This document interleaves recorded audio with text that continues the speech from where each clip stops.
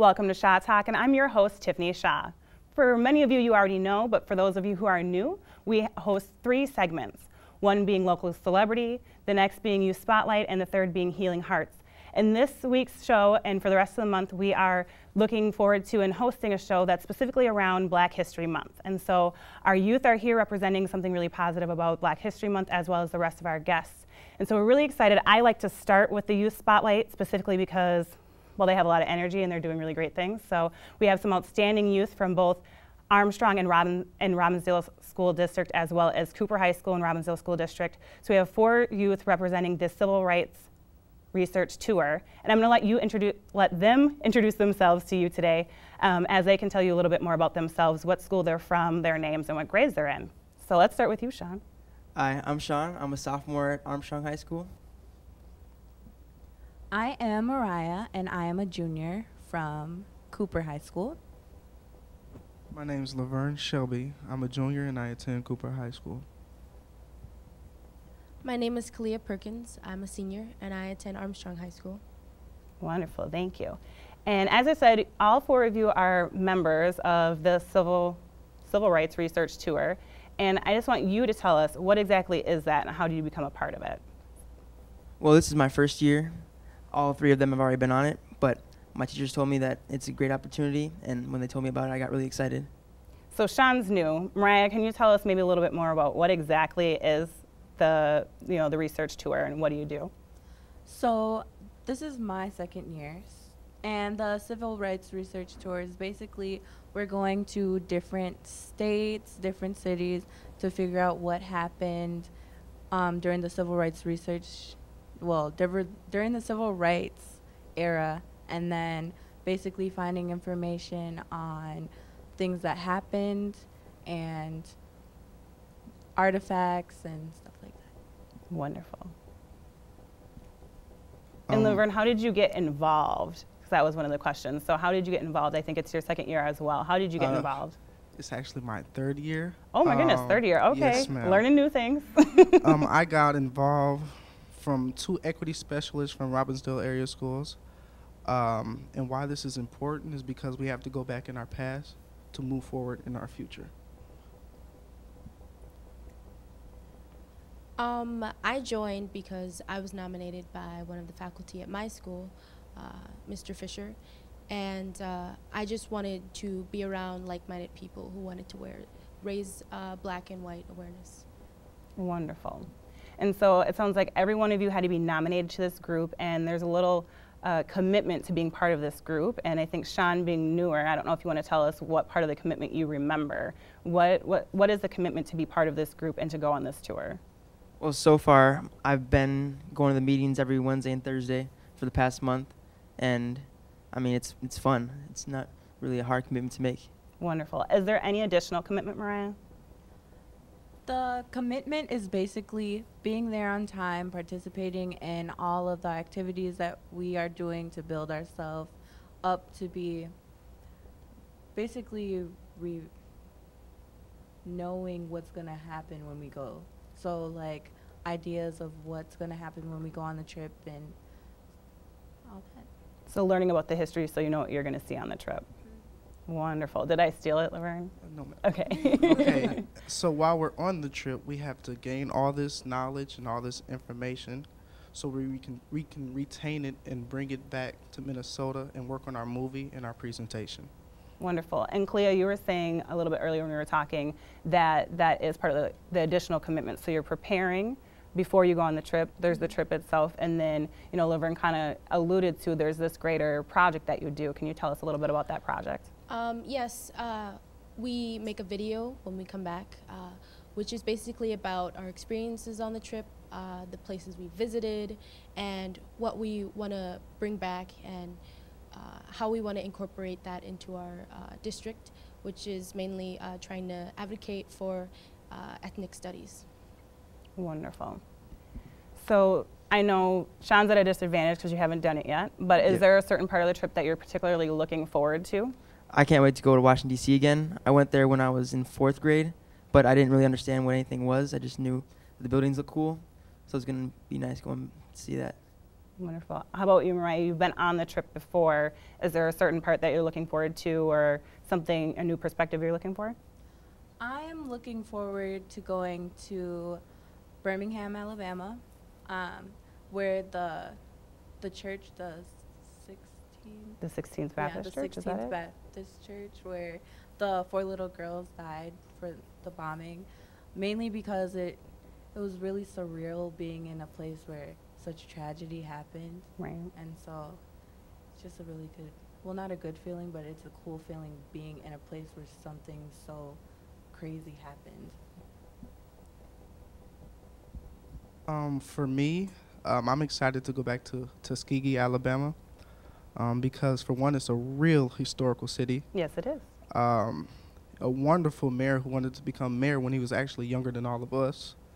Um, and they have a beautiful, beautiful campus, Tuskegee University. I have a feeling you plan on maybe going there one day. Possibly. Maybe. Okay. Um, and I want to go back to Selma, Alabama, to walk back across the Edmund Pettus Bridge, um, because when I did the first time, there was just this wave of emotion that you don't get anywhere else, um, and uh, it was just a great experience. Right. And on that point, mentioning Selma, uh, I think all of us know that a movie came out named Selma and history of that remembrance. And actually did just go see it on Tuesday. And that was one of the activities, it sounds like the whole group. How many students, Sean, do you know how many students are in the group total? Is it 18? I think it's Oh, 20 no, students? yeah, it's 20 now. So all 20 of you went to go see the movie. How did you feel about going to see the movie? Yeah, it, it brought out some emotions. Yep. Same. It was really emotional, um, and then to actually seeing it was filmed there, and then realizing for me, I walked across that bridge myself, Mhm. and I was like, wow, it's really. It was a really weird feeling. Um, for me, it was uh, really, really crazy, just like what Mariah said, because we walked over the bridge. Um, and knowing that Martin Luther King uh, did all that things and um, all the things that people went through, like um, uh, I forgot the young boy's name, but he got shot uh, trying to help his grandfather out. Mhm. Um, it was just crazy watching all that and knowing that we were there to visualize it. Um, and for me, it mainly brought back all the emotions that I felt going on the trip. Um, and like they had said, uh, walking across the bridge and being in Selma and just seeing other people reenact the things that we were learning about. And uh, that brought out a lot of emotion. Now, the one question we didn't practice, but you know, there's always suspense somewhere, is there aren't just African American students in this group. And do you think that it is important to have everyone involved, all races and creeds involved in remembering the civil rights movement and where we've been and where we're going? What do you guys think about, you know, non-African American students being part of the civil rights research tour? Oh yeah, because I don't just see myself as African American. I see myself also as white too. So, yeah, I wouldn't have had an opportunity if they just let just African American students go. Right, me too, biracial in the house, so, okay. Mariah, what do you think? I think that it's good that they're getting other races inside of the, well, going on the trip, because if they don't know, then they can't come back and tell other people. Because the big thing about the trip is we want to come back and share our knowledge with everybody. We want everyone to know what we're doing, what happened, because if you don't know, you don't know where you're going. Um, for me, I really think it is important um, because we, what's the word? We we practice and practice and practice to try to get it out. That's why we need more races because this is an important thing that happened in America, and if other people don't know, it's just like, why? So Right. we need. That's why they need to know. Um, I think it's very beneficial that different races are involved um, because it's not just uh, a black problem, uh, it's everybody's problem. And if those who are in the dark about it have no idea what happened and how it affected our country, then what are we really doing? Perfect. Well, I appreciate you, and I know there's uh, some places that we can look up information for other people to learn about it. So we will make sure we make a link for the equity specialist for Robbinsdale for people to learn a little bit more about what you're doing. And we will have a few of your colleagues back, your student colleagues back after the trip, because that's in March, after spring break. So in April, we'll have some of them back. We really appreciate you all and your input and sharing a little bit about what the Civil Rights Research Tour is, and we really appreciate having you on the show. So thank you all for your time. Thank you. So again, the youth are really involved in our community, and these youth, specifically around Black History Month, are taking an opportunity not just for a few months, but for the entire year to learn more about the civil rights movement and their heritage, and sharing that with uh, other students and other adults. And that kind of just goes right into our next guest, whom is Nikki Nekima Levy Pounds. And Nekima happens to be the director of the Community Justice Project and a law, direct, a law professor at the St. Thomas University. And so Nekima is an amazing advocate on law and on civil rights here in Minnesota, but also across the nation, and has been involved in uh, many of the movements across the nation over the past few years. And so I kind of will let her speak for herself, credentials included, but that and all the activities that she's been involved with. So welcome, Nekima. Thank you. Thank you for having me on tonight, Tiffany. You're very welcome, and you are very active. Uh, it was, I know I had to get you scheduled in advance so we can make sure you get here. And so I said I would let you kind of just let us know where you are. What have you been doing in regards to law and advocacy around civil rights recently? Well, it's a blessing to be here in honor of Black History Month and also to be here in light of the guests that you have on the show tonight. So, hearing about young people who are interested and engaged in civil rights is phenomenal. Yeah. That is the subject matter that's nearest and dearest to my heart. Um, I'm a law professor at the University of St. Thomas, and I'm also a civil rights attorney. Um, I work with young people as well in the community, particularly in St. Paul, through a nonprofit that my students and I work with the community to help found called Brotherhood Inc. And so Brotherhood works um, on behalf of and with young African American men who've been in the criminal justice system or gangs, and we create employment opportunities for those young men uh, so that they're able to make a living wage and to give Precisely. back to the community. Well, so, that's a that's a gap area. Is you know pretty much if you have any kind of criminal background, it, employment's out of the question, and that's the one reason why they usually end up reverting back to previous lifestyle choices. So I love that you started that, and that that's probably impacted many lives already. Absolutely. I mean, it's impacted my life because I get to work up close and personal with young people who have a lot of hope and potential, but who need access to opportunity. And so, when working with those young people, it reminds me of some of the struggles of our ancestors right. who've had to fight against oppression since arriving, you know, um, here um, in this land, and then also the struggles of the civil rights movement. Right. We have had to buck up against systems that have been hostile in many ways right. um, to us, to our community, whether it's at times the public education system, right. other times it's the criminal justice system, and the challenges that we face in terms of gaining equal access to opportunity. So I work on a lot of issues like that, hand in hand with the community, training the next generation of lawyers to become exactly. freedom fighters and to continue in the tradition of people like Thurgood Marshall, exactly. who fought hard to dismantle Jim Crow.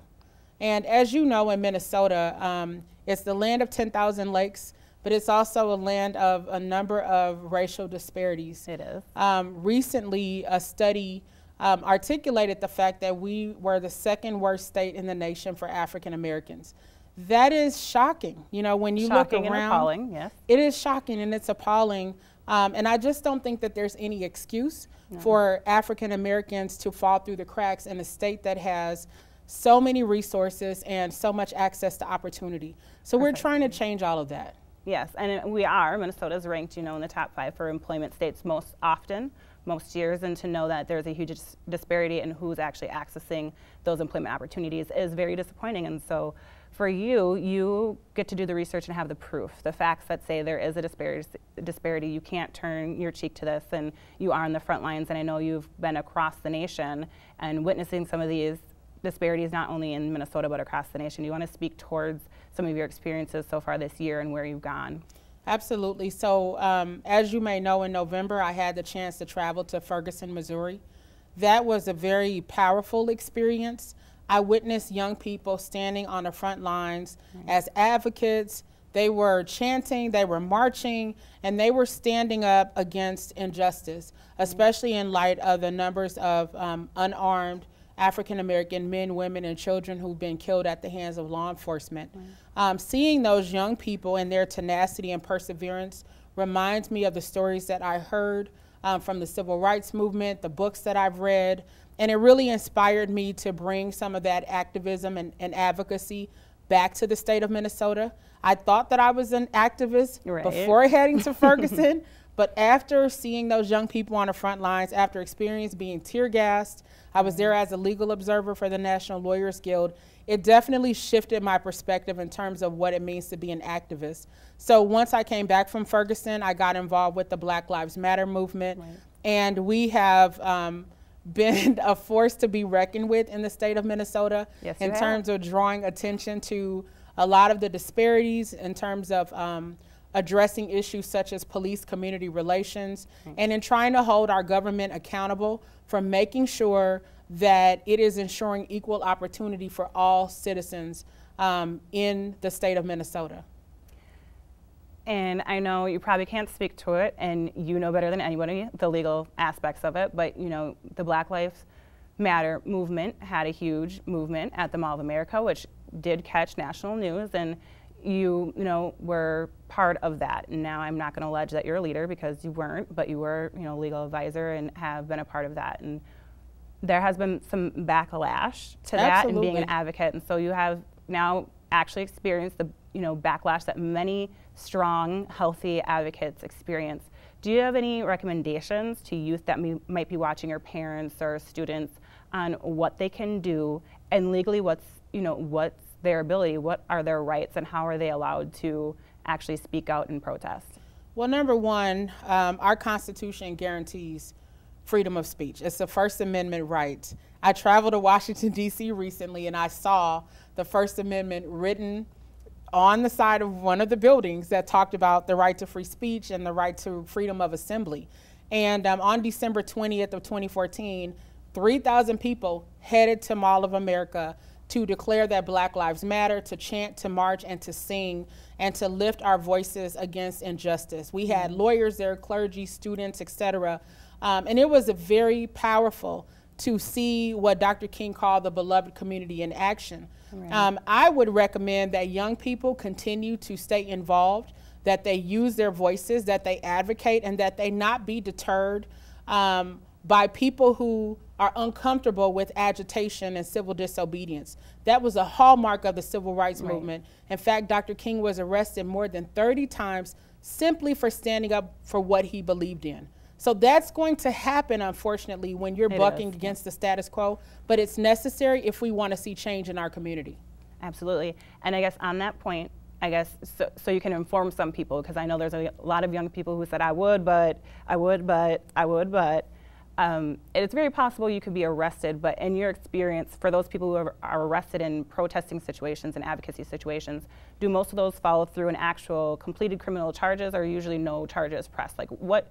Speaking to especially, you know, we need young people in the movement. What should they be expecting in that experience? You know, most of them would be terrified to get arrested and go home and tell mom and dad about that. Absolutely. I would say they should expect the unspe- unexpected. Right.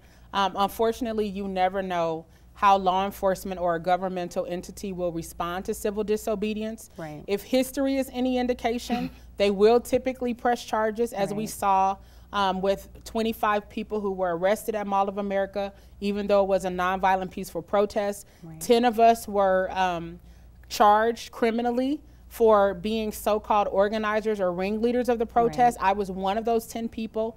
And I find it really disturbing that um, governmental entities would abuse their power and engage in overreaching for a nonviolent, peaceful protest. Absolutely. And so during the civil rights movement, there were children involved in marches in Alabama. Some of those kids were arrested simply for marching and protesting and standing up for our rights. And those kids would actually call their parents and say, If I get arrested, mom, don't come get me out of jail.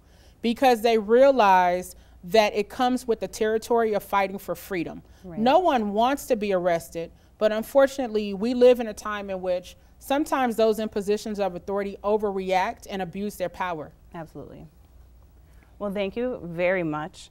Uh, you have a particularly special outlook because you do have the legal and professional background and you can advise in a way that you know comes with merit. I think uh, there's been some you know people have alluded to that there is weakness and not enough strong leaders in the movement right now. And yes, the movement is real. It's still active. There are still disparities in America, and so for people to really know their rights and have someone like you strong. I'm glad that you have the Community Justice Project and that you really are training young people in the legal aspects of civil rights and that they have a strong leader because we aren't missing them. They're out there. We just need to be recognized and the young people need to make their way to you. So we appreciate what you're doing in the community and ask that you continue. And yes, Black lives do matter. So we thank you for your time and we hope to have you back soon. So thank you so much, Nekima, for your time. Thank you for having me and thanks for all that you do for the community. Thank you. So that goes straight into uh, our next guest. Nekima mentioned something about lifting our voices, and in Black History Month, we don't want to forget that many of our, you know, those that came before us lifted their voices. People like Ella Baker sang actually her way through the civil rights movement.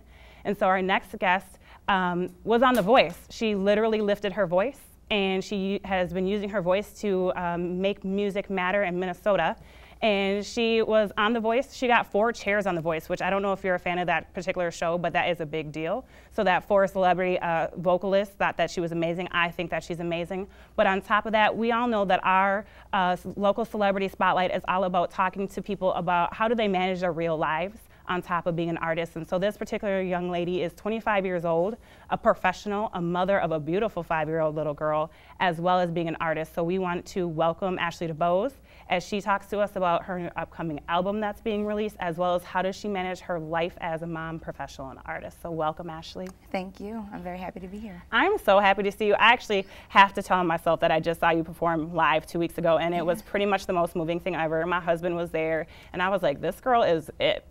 Thank you. and oh. we're picky. We are. We see a lot of artists, but your voice is just piercing. I mean, it's very rare now that you find someone with such quality, tone quality, but also to know that you know you do have a day job and you do have a daughter. How do you manage all of that? First of all, thank you. That's so sweet. Um, I manage it because it's so true that it takes a village to raise a child, and I have a strong support system. Um, so I'm able to, and I also work part time now. Um, before 2013 when I auditioned for The Voice and did that whole thing. Um, I was full time, so, and I was still doing music, but it was a lot um, difficult, a lot more difficult. But my job is very understanding and supportive of my dream, and so they um, let me be flexible with my hours. So really, I just work with my team. So, are there certain people in your life that help you manage between work and being an artist and being a mom? Yes, my daughter's father and his family. Um, my mother, I have dear friends who are down for the cause. Um, they will come if I need them at the drop of a dime to babysit. And um, I also have a personal assistant. She's a really good friend of mine. And I don't know what I would do without her. like sometimes she's like, Ashley, your head. I'm like, oh yeah, my head. so You're like, like, literally my head. Yeah. yeah. I need that. So um, yeah. I have those people. those people. in my life as well. So they are lifesavers, mm -hmm. and we mm-hmm. need those people that are supportive of our dreams. Right. And you have been chasing the dream for a while, and we kind of touched base for a moment about how important it is to remind people, especially you said putting Minnesota on the map. So mm -hmm. when did you start this being an artist journey? Um, so I've been singing since I was a kid, but I'd say I started when I was in high school and I started performing. Mm -hmm. um, that's when I was I was going around town with Imani Mami and Company. Mm-hmm. I went to high school with the girl. She was a, ju- a, junior, I was a senior, and her and her mom had Imani Mami and Company where they would invite artists along with them and um, do performances here and there around the Twin Cities. And that was my foot in the door into performing and getting compensated for performing and uh, just kind of getting over some of that stage fright. Right. Uh, well, you said the key, getting compensated. There's right. a transition where you just perform to build a resume and then you get start getting paid. Yeah, yeah. I was told if you get paid, it doesn't matter how much, you can call yourself a professional. So I was a professional singer in, right. in high school. So that that's was a, exciting. Yeah, yeah. so um, so you know that's when I I started performing, and then uh, you know like really performing. And in my freshman year of college, I did some recording, just amateur, mm -hmm. you know, using Pro Tools, which is a software that you right. can use right at home to record. So I was creating my own songs, and I was really proud of them. And um, now I would probably get embarrassed if, if a lot of people heard it, but I was really proud of it. And, um, you know, I, I always wrote. I wrote songs since I was about 10 years old. So um, when I linked with some producers later on, now this is about my sophomore, um, actually my junior year in college, mm-hmm. I was able to put together an album eventually, which would eventually release a day before I graduated from college. So I was very convenient time. Very con- it, it, was a lot of work, but I was so um, now looking back, I feel so proud of myself and um, you know my team for working together to make that a reality for me. Like, because when I found out I was pregnant, I was just I was 19 and I was a sophomore in college. It was not planned, and I was just like, oh my gosh, my my life is over. My dreams, like, look at them falling from right. the sky. Like, and then I feel like you know I I'm spiritual, and I really think God has His hand on my life, and He's been providing and looking out for me, and He would have it so that the very two things that I thought I was going to be able to do, graduate from college and right. you know be an artist, I released an album, and then the next day, less than 24 hours later, walked across the stage and got my degree. Well, that, wonderful. So. Little do you know, we'll have to send you the link that our previous Spotlight Youth Jail actually is doing a project about that. So uh, the mistake in a single story about teen moms that oh. your life is not over. Right, right. And so I think you're perfect to follow. You know, the month after her, and that's why I kind of thought, you know, Black History Month, Ashley DuBose, you are yeah. a mother that is still accomplishing your dreams, and that is being a mother is not a barrier for you. Right. You know, it might give you some, you know, different Pushback. peculiarities, yeah, but you are still gonna it. do it. Mm-hmm. And with that, this upcoming album is not your first. I actually don't even think it's your second one. What number album are you on? So, this, so technically, it's my second album, but I did release a second project. Um, and it was a, an acoustic version of my first project. Okay. So the reason I put I put that out, um, I love acoustic music. I love when I like just have me and a guitar performing. I love my band performances too. But um, so I put that out, and it was kind of like a in the meantime because I was going through the uh, series, the the process with The Voice. Right. So in 2013, I was on the season season five of NBC's The Voice. Right. And um, if you go online, I, uh, you know you can see how that went. I won't give it away, but right. it went really well. And uh, I was out there for a long period of time, and we, right. you know, under contract can't release music until during that time. Yeah, during that time. Mm-hmm. Um, so I tried to hurry up and put something out before I signed the contract, and uh, so it was fun. So yeah, this is my third body of work that I'm putting out. That you're putting out. Yes. And I can tell you that you have moving music. It's music with Thank a purpose, you. absolutely. Mm-hmm. And I think the uh, piece that you're going to sample for us, it really fits into the theme of the show today, eh, which is Be You, right? Be You, yes. And actually, did you perform this too? Um, I, I, did perform. Yep, that was the last song that I performed. So okay. "Be You" is the title track for my album, which is called "Be You," and it will be coming out March 7th. Right. I'll have a release show at the Bedlam Lower Town, which is in St. Paul downtown. Wonderful. And um, it's a 21 plus show, and it'll be fun if everybody could come out and make it, and I can sing my heart out for everyone. And um, it is worth their while. Yes. If they can't make it to that release party, where else could they find your music at? Um, they will be able to get it at Urban Lights in St. Paul um, the Electric Fetus in Minneapolis, mm-hmm. online, iTunes and Amazon, all of the online music stores. Right, because we have a lot of young people followers, so they're probably yeah. like the Electric. It's crazy. Fetus. I still I still listen to CDs. they're like that's a real store. So wonderful. So tell us a little intro to Be You, and then we're actually going to let you sing it so people okay. can hear you because it's beautiful. Okay. Yeah. So Be You is very, you know, the title is very self-telling, and um, it's just about about embracing who you are and you know, we have these things about ourselves we feel like we need to change because it doesn't fit the mold that we have, um, whether it's a mold that culture, society, or religion, or right. whatever has given us. So it's just like, no, you're cool just how you are. Good. So it goes like this. yes, I know how it feels to be on the outside looking in, never fitting in. They don't understand, no, why you're not like them. But it takes a special kind of you to see life the way you do yeah. You can search the world high and low. There will never be another you, another you, no, no, no. And it's hard, I know. But you've got a heart of gold, and you and you just want the world to know it's okay to be you. Cause you are different. You ain't like none of them. Said you got your own swag, your own style, your own thing. Baby, that's cool. It's written in the stars. You're supposed to be who you are. So do your thing, do your thing, do you, you. Say it's okay to be you. And you were worried that you weren't going to be able to Thank sing you. today. I, I have a cold. So that'll Well, we thank it. you so much for coming on the show. We will share all of Ashley's contact information with you. We appreciate you for watching the show once again. You can find us on uh, Shaw Talk TV on YouTube, also on Instagram at Shaw Talk TV, and Twitter at a hashtag Shaw Talk TV.